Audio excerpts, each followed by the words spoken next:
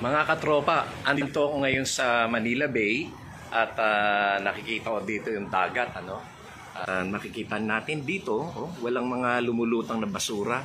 Hindi kagaya noong mga nakaraang ah, taon na kung hindi, nung hindi pa ito ah, inalagaan ng Administrasyong Duterte ah, sa pangunguna rin ni ah, Secretary Roy Simato.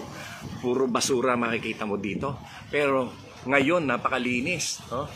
At ah, dyan sa parte na yan, sa dulo niya, nandyan yung ah, pinambakan ng dolomite sand na maganda, although hindi natin nakikita ngayon dahil malayo at saka ah, makulimlim ang panahon.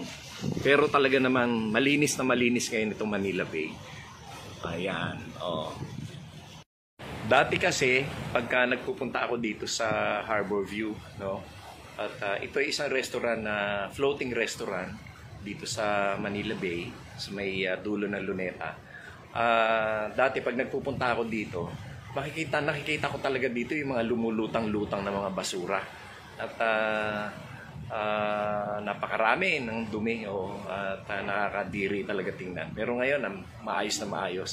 Salamat sa ah, efforts ng DENR sa pangunguna ni Secretary Roy Simato na isa sa pinakamagaling at masipag na cabinet secretary ni Presidente Duterte. Congratulations sa inyo. Maraming maraming salamat.